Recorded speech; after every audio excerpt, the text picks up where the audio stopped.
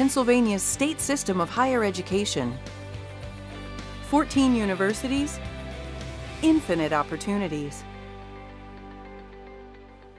Hi, I'm Chancellor Karen Whitney, and today we're going to talk about how students can pick that just right living learning community for their college experience. We're joined today by an awesome panel, and let me introduce you to them. We've got Kent Dahlquist, Director of Housing and Dining Services at Kutztown University. Hi, Kent. How Hi. doing? We've got Dr. Scott Helfrich, who's Director of Housing and Residential Programs at Millersville University. Dr. Helfrich. Hello. And we're joined by today by Isela Mendez, a Senior International Business major, Spanish minor at Millersville University. She's also serving in her second year as a resident assistant. Isela, nice to see Nice you. Nice to see you too. Well, thank you guys. Let's talk about housing and just that right living learning experience. Isela, tell us a little more about yourself. I come from a large family, so with any type of spare time, I love to do crafts, I love to do painting. I also have an obsession with Clint Eastwood movies, believe it or not. Okay. That's a good one. Very good. Well, hey, let me ask you, Dr. Helfrich, how do you work with students at Millersville determining the right living learning uh, community? Well, we try to provide a safe and engaging living learning environment for our students on campus, particularly within our residence halls, and we provide various options for them um, so they have a good environment, educational environment throughout their entire college career.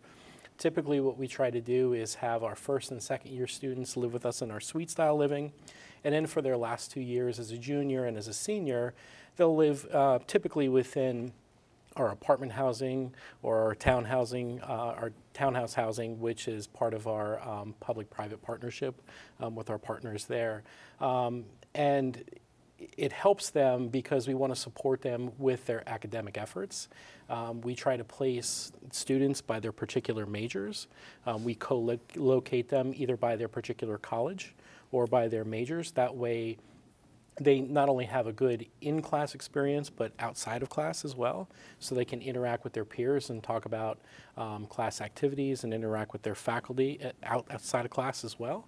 Um, and then we also have living learning options, particularly like our honors college, um, where students are co-located together in a particular building and work together and have classes together surrounding that um, particular um, department.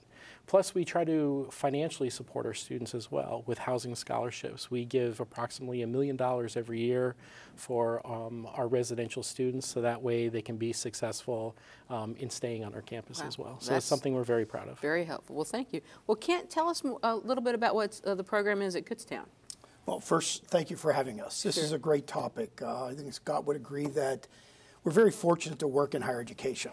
Uh, the opportunity to interact with young people, especially in a living learning environment, just allows us to work with them and help them develop. At Kutztown University, uh, the housing department works with a number of offices on the campus in the recruitment aspect of helping the students identify the place they would like to go in the future.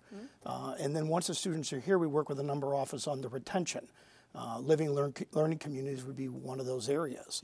Uh, we work very closely with a number of academic programs on both living learning communities and special interest groups.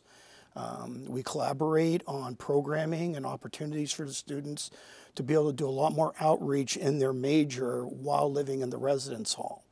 Uh, in addition, we also manage a dining program on campus. Wow, we're going to talk some more about that. Well, let's go ahead and uh, plan to take a break and go ahead and, and right now we're going to go visit Bloomsburg University.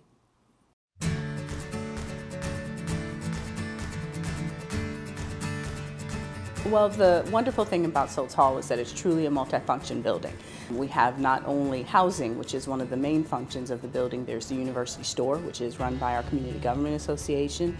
There are two dining venues here, and one of the most important features is the integrative learning space, which is really important because it really shows us living our mission with aligning student affairs and academic affairs and really embracing student learning outside the classroom. Um, we also have the University Mail Hub, which is here, and it's it's really provided an incredible convenience for our students because they have 24/7 package pickup. Students aren't tethered to our schedules; they can do things on their own time. Is this is our first attempt at Bloomsburg University at a full suite building. Uh, prior to that, we only had about 24 beds on campus, so this having almost 400 beds is a new and unique uh, feature for our campus. Also, we have four primary tenants in the building, which again is something fairly unique to residence life here at Bloomsburg. It is in many ways transitional living. One of the unique features of this is you have an individual bedroom, which you wouldn't have in a traditional residence hall. However, we don't provide them with full kitchens. Um, there's a certain sense of independent living with a full-size refrigerator, microwave, and a common living space area, but we still have students on our campus participate in our traditional meal plan. This building gave us an opportunity to really look at how we would design from the ground up uh, what, we, what we are now calling our integrative learning space. So services like the Writing Center, our math lab, tutoring, are being used in those spaces. Those lounges provide an opportunity with the flexibility where students can gather socially, they can gather in study groups, they can study independently. All of those things um, are very important because it's, it's part of a community. There, there, are a lot of intentional concepts that go into a residential program. One of them is the physical nature of, of that, and then you combine it with programs, you know, um, that, that are offered for students in helping that transition from high school to college is extremely important for them as they make that transition. The programming that we do enhances the student experience because we provide them a ability to learn about themselves, appreciate others, learn the art of negotiation, learn the art of compromise, uh, all things that are necessary functions once you get into the working world. I think the uniqueness of the building is that it melds so many different student functions in one area. It really creates a hub on this end of campus for students, for student life, for student learning. Your students are using it a lot and we're very proud of that.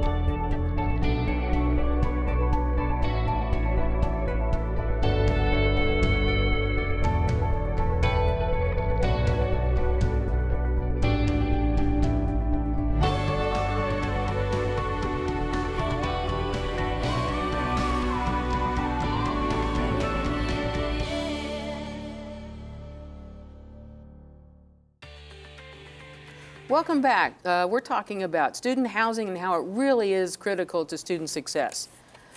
Kent, let me follow up with you some more uh, about what we were talking about earlier. Uh, why is living on campus important for college students? Well, there's a, there's a number of reasons that the campus experience, living in a residence hall system, is important to a college student today. Um, first, the opportunity to interact with their peers, uh, obviously, and build the friendships and relationships that they might have for the remainder of their life, depending on how they're uh, participating at university. But, I, but one of the things I spent a lot of time talking to families about is the importance of involvement. When they come to college and they know they're going to be sitting in a classroom, they know they're going to be working on their academics. But what are they doing outside the classroom? Mm -hmm.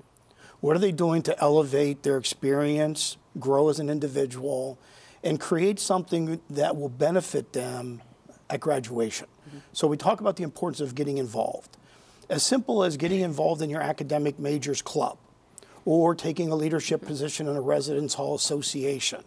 But we really do try to impress upon them that while living at a university, take the opportunity to get out, be active, learn and grow from those experiences outside the classroom to help them better prepare for the future. Mm -hmm, at Kutztown, mm -hmm. we offer three varieties of residence halls a traditional residence hall, suite style hall, and apartment living. And we start our first year students off in the traditional residence hall. Certain privileges, certain benefits come from that. As they advance through the years, they have the opportunity to move in more into more independent housing, suite style or mm-hmm. apartment. And then where they get to the apartments, now they're taking care of themselves in every way. They're doing their own mm-hmm. cooking, mm-hmm. they're doing their own cleaning. when they have the time to clean. Uh, but but all in all, just the opportunity to just to grow as an individual. Sure. No, that's very important. In fact, Isela, why do you think students should live on campus rather than living off campus? What would be your pitch to an incoming student? Um, my pitch would be um, developing better life skills. Cleaning up for yourself is a big issue with the newer generation of students, I'm going to be honest. And another thing, time management too, because you're on your own. You got to wake yourself up. You have your set schedule for today. You have to be time um, time you know management. Mm -hmm. What about the programs? Talk to me about some of your programs because you know the thing you get isn't just a, a great place to sleep, but mm -hmm. there's a whole residential oh, yes. program. We're um, we create programs for people to come out to events. We will do craft nights. We'll do evenings where we're like, hey, promoting a club on campus that's recently looking for more students to join. Other activities like field trips that might be happening within the college within that month. We make sure they get updates on that as well, and just like building that community bond with them having them come out and speak to us one-on-one. That's what we like to see with our residents and students alike. So the program builds that kind of community yes. that we were just talking about yes. that makes a difference. It does. Well, Dr. Helfrich, why are RAs like Isela so important to our, our first year students? They're crucial because the first six weeks of a new student's experience on campus is important because it sets the routine for the year and also pretty much for the duration of their college career and what they're going to do, where they go. Um, it, it's important. So the RAs, um, the resident assistants, are student leaders. Usually they're, um, they're sophomore junior and senior student leaders um, who live within the residence halls, and they're there as a resource. They're there to help guide um, the residential students through the college experience. So for a lot of our students, it's the first time that they are away from home, away from their family for an extended amount of time, and they might not necessarily have a connection to the university quite yet. So that RA is that person that can be that resource to help them get connected to resources on campus, whether it's a club or organization or a faculty member, counseling services, health services. And if the RA doesn't necessarily have the answer, they'll find somebody who can get them the answer. So it's very important to have um, those student leaders on our campus. So the RA, as well as the other staff in residence life, really end up becoming a critical resource and support structure Absolutely. for students to be successful that you wouldn't find anywhere else. That's correct. Oh, that's terrific. Well, I'll tell you what, let's go ahead and take a quick break and head on out to Indiana University. Hi, I'm Tyler Perry from Hershey, PA. I'm a criminology pre-law student here at IUP and a member of the marching band. You know, the days of the old one-room dorm are long gone. We've since replaced them with our spacious suites. They're designed to help you succeed in the classroom and in the IUP community. Each of our eight suite-style residence halls is part of the Living Learning Communities, these programs allow residents to participate in activities and experiences specifically themed to their academic college, major, or area of interest. Living Learning Wise, we connect with a partner, and the partner is usually a faculty member. So this helps strengthen the tie between home and classroom and helps the students out academically. But one of the things that I really value about participating in the Living Learning community is the opportunity to meet students where they live. Uh, students most often come to me in my office hours or in my classroom, which is uh, my space, but I really value being able to go into their spaces and being able to um, learn things from them in the same way that they learn things from me. I would recommend any student coming to a Living Learning community because the resources that the Living Learning community offers, you cannot get it off campus. Um, the, the people and the, the support and uh, the community feel, the, the social uh, life that you have in the Living Learning community is unlike anything else. The Living Learning communities offer an opportunity for, um, for additional focus on student-centeredness, um, the ways in which uh, students can create opportunities for learning outside of the classrooms um, and so they bring the things that they learn from the classrooms out into the residents' communities. I've participated with um, community assistants, for example, a community assistant from the Dominican Republic, um, who shared things about his um, culture with residents in the residence hall. And then I was able to be there to sort of um, support and add some information that I knew as a professor, but it was really his activity that he created for his residents. The suites have it all. They have one, two or four bedrooms, and everything you'll need to be comfortable. Each one has a kitchenette, private bathrooms and closets, and the larger ones even have a living room. And to make it all easier for you, you can choose your roommate, suite style, and community online. I think it just gives them a better sense of connection to the campus as a whole, to not only live on campus and be in a residence hall, but, be, but to be an active member of a living learning community. Welcome back. Today we're talking about student housing and how important it is to student college success. Let me ask you, Isela, how has your experience as an RA impacted your college career? It's impacted my college career by being able to curate within the residential halls a community within the students. Again, with the one-on-one -on -one communication with them, that's always key for whenever they're freshmen and they still need help navigating campus life and just finding other activities to do within the college itself. So you find you've really made a big difference in the lives made, of your students. Yeah, I've seen development through like halfway through the semester, and I'm really excited to see how they'll be by May uh, this coming spring. Well, that's got to be really gratifying because you're a student also. Yes, I so that's terrific. Hey, let me ask you, Dr. Helfrich, can you talk a little bit about how living learning communities and other student housing opportunities enhance a student's college experience from your perspective? Sure. Well, research shows that students who are engaged in their campus campus life are more likely to persist and graduate.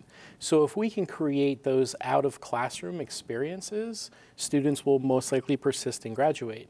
Um, myself, when I was an undergraduate student at Lock Haven University, I was extremely involved in the living learning environment. I myself was an RA. I was involved in the Resident Hall Association. And through those experiences, I was able to travel the country to go to student leadership conferences and present. And because of that, that's how I decided to become a student affairs and higher education professional. So it's those kind of opportunities that we're trying to create at Millersville for our students so they can get so much more outside of the classroom as well. Um, and those living learning opportunities actually students who were involved in them will actually perform better academically sure. than those who are not involved in those um, at millersville we um, as part of our strategic plan um, we try to engage learners and through that we're making living learning options particularly with our honors college um, and other academically based um, initiatives with classrooms within the residence halls working with faculty um, in order to have them come in and do different programs related to classrooms and the different academic majors. And it's, it's extremely exciting to have those partnerships. And students get so much more out of their living learning experience instead of just a meal and a bed. So that's the environment we're trying to create, and, and we're very glad of that. So you're really trying to bring that academic experience in the classroom into where people are living. Absolutely. That's yes. very exciting. Thank you. Thank you. Hey, Kent, let me ask you, in terms of how do the state system's housing options, in your opinion, compare to uh, other universities throughout the Commonwealth? That's an interesting question. Yeah. Um, I've been fortunate enough to visit 12 of the 14 schools in the time I've worked for the mm -hmm. state system higher education. Uh, and I've got to see the inventory of buildings that they're providing for their students. And I think all of us are taking a very positive approach uh, to renovating and providing an environment that's more of what our students are expecting today. In addition, uh, the 14 of us, the state directors for housing, communicate often throughout the year, uh, asking questions, bouncing ideas off one another, um, sharing things that we might want to think about and see how we're doing compared to one another. Mm -hmm. So I think we're always striving to provide an opportunity for our students that are living on the state system campuses the best living arrangement that we can provide. Um, comparing it to other universities within the Commonwealth, um, first I'd like to think that we're above the curve yeah. in that area. Absolutely. Uh, and, I, and I do know that, you know, having interacted at conferences in the, states, in the, in the state itself with some other universities, um, I think all in all, our facilities probably are at par with everybody else or better. Well, I can, I can tell you, I visited all 14, and I think we have some of the best student housing in American higher education. And I'm so proud of the program and yes. what's occurring there. We need to go ahead and take a break, and we're going to head on out to Clarion University.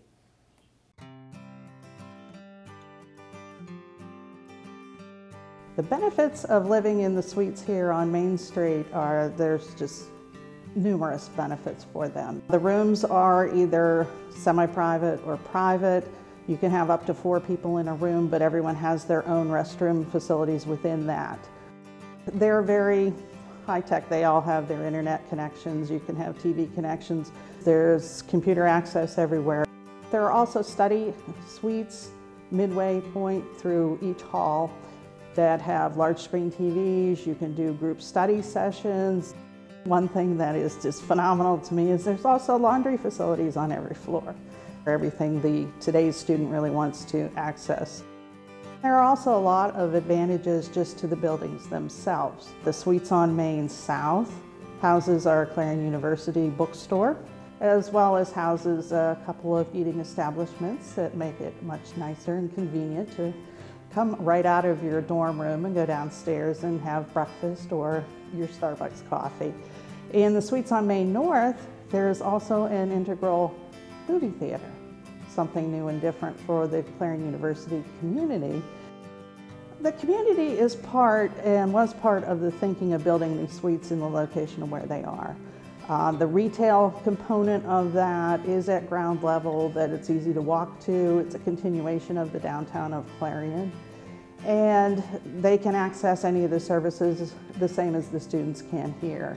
Uh, one of the things they did when they moved the bookstore down here to the suites was expand the selection of things that would normally be sold in a regular bookstore because there is no other bookstore within uh, driving distance of downtown Clarion. So that's a very big bonus for them. It also provides just kind of a nice gateway for the students and the community to be able to walk, live together, and form that community bond. We have a very nice welcoming campus People are very open to saying hello, what's going on, that type of interaction, and the fact that we're down on Main Street and you can interact with the community opens up the college to them. It's, it's not its own little segregated area anymore. I think it makes a nice presence within the community and the students feel the people of Clarion are very open and welcoming and they feel respected in the community. It really makes it a real well-rounded experience for them and a nice place to call home. Welcome back. We're talking about student housing and how to make that just best pick on where you should live in your student housing when you go to college. Kent, based on, on that idea of pick, making a good pick, what advice would you give students looking to find just that right student housing experience for themselves? First, I would say that when you visit a college campus, take the opportunity to visit each type of housing available at that university, yes. whether it's traditional residence halls, suites, or apartments. I think each school in the state system has a variety of selection to pick from and get the opportunity to see each location because most likely you're going to advance over your years through the type of housing that you're going to choose to live in until you graduate. Um, ask questions talk to students that are in the lobby when you're visiting the residence hall, finding out what they think about living on campus. Uh, take the time to challenge the admissions tour guides on what opportunities are presented at the university for students living on campus and how they can get involved or participate in activities uh, during the year.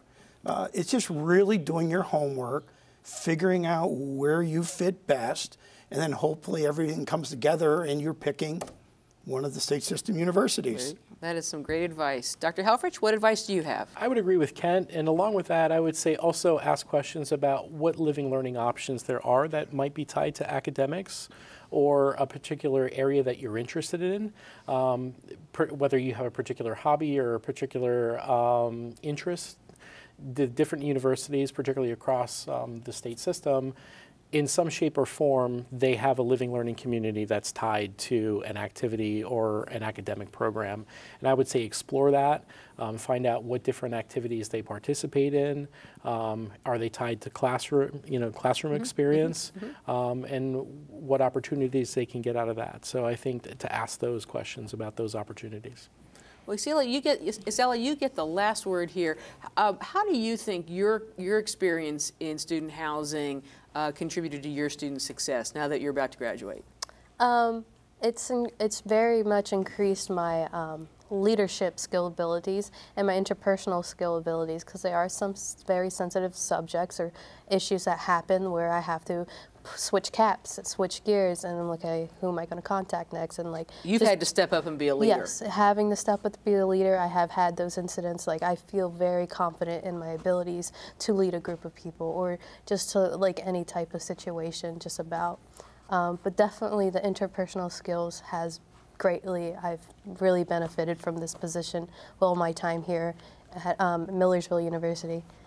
That's terrific. So what's your advice? What should students ask uh, to make that best pick on what kind of student housing they should live in?